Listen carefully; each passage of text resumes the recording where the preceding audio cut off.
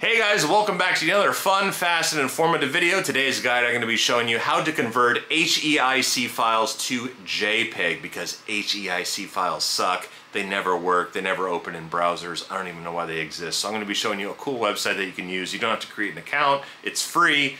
It's just awesome. It works for mobile, desktop. Without further ado, let's get to it. All right, guys, we're currently on my mobile device. So, of course, launch your web browser of your choosing. I'm going to be using Google Chrome. Head up here to the URL section and we're going to type in HEIC2JPG.com.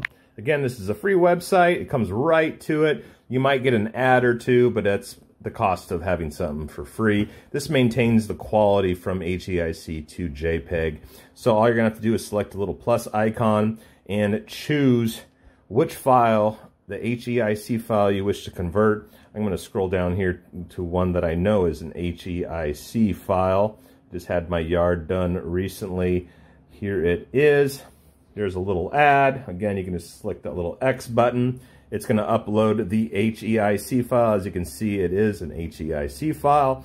Might take a second or two depending because these phones take some big, big picture files. Anyways, that's all there is to it. Then down here on the right, there's a little uh, download button. Select that.